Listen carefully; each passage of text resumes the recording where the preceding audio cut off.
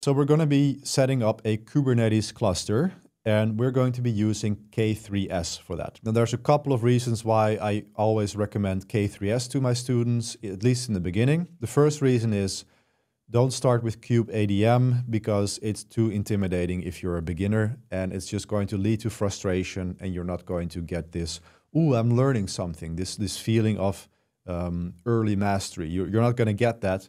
And that's, it's really important to get some positive reinforcement eh, early in your learning process.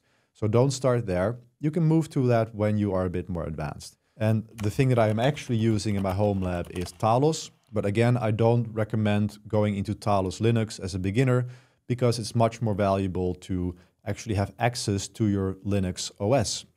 So Talos actually takes over your entire disk and it only exposes an API. You can't even SSH into Talos, which is why it's great because it's completely secure. But if you use K3S, you still keep your Linux operating system. I, am running Raspbian OS on these Pis now, and after my Kubernetes cluster is set up, I can still tinker with Linux. There are still things I can do on that Pi besides running a Kubernetes cluster. So that's the reason why we choose K3S. Finally, K3S is great because it's easy to set up, it works out of the box, and it runs as a single, bi single binary, which is amazing. Now we can get started.